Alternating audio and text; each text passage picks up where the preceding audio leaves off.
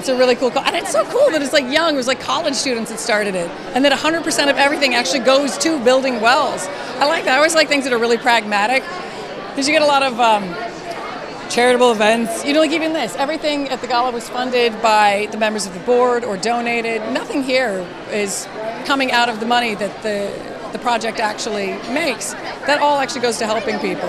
And I'm, I am a big fan of that. I'm, I'm not a big fan of like the showy ones. They're like, oh, we do this, but we just have fancy dinners and this and that. And almost no money actually gets back to helping people. So this is a this is a really cool. It's a really cool thing.